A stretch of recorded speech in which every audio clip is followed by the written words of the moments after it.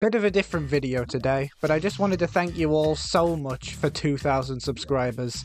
I think it just means a lot more to me than the 1,000 subscriber milestone, as I reached it almost immediately following the Summoning Salt video. I went from 160 to 1,000. Doesn't mean that I'm not grateful for it, because I definitely very much am. It was just a surreal experience seeing everything rise up. But after 1000, it was up to myself to organically grow the channel further. Because, like, if you get featured as a prominent person in a video with 5 million views, you expect that some people are going to come over to your channel and subscribe.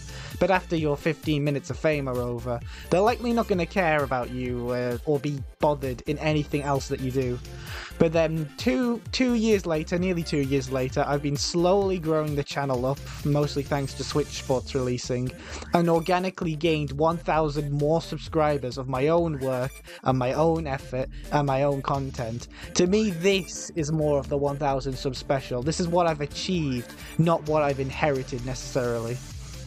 Switch Sports pretty much couldn't have come at a better time. In the bigger picture, it should have been a launch title for the Switch, and the game wasn't that great, but it was the perfect opportunity at the perfect time to just show the world what I can do when I'm put against real competition, against real opponents in real time. So I just have to actually thank Nintendo for releasing Switch Sports at that time. I'm probably the only person to be thankful it released in that underbaked state. Now we get to the title. The TLS in my name is something that's somewhat unintentionally became a great mystery around me.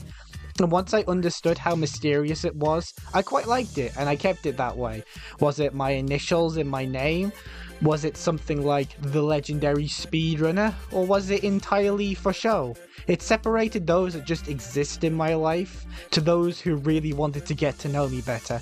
If they asked and showed interest in what the TLS stood for, they didn't gloss over it, you know that they do want to get to know you and likely be your friend.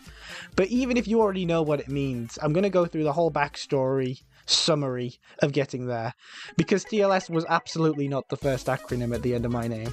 In fact, when I first started using the Shockwave name when I was 10 and the only social media I used was Miiverse on the Wii U, I didn't have anything special and I went by the full Shockwave name. However, like any 10 year old did, and don't lie, I'm pretty sure you've done the same, is go to the keyboard section, go to the Russian alphabet or the symbol menu, and choose symbols that look like English letters just to make your name sound fancy. I also remember doing the thing where you put XX at the beginning and end of your name too. The last thing before the acronyms was I put whatever game or community I was into at the time into the name, which I know is common practice now. I know that speedrunners like to have SR at the end of their name.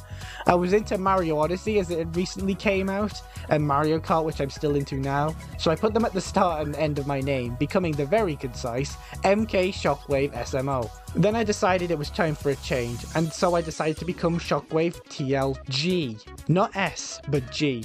So you may be wondering, then what does the TLG stand for? Well, the TL, with myself always wanting a name revolving around electricity when I was younger, stands for the Lightning.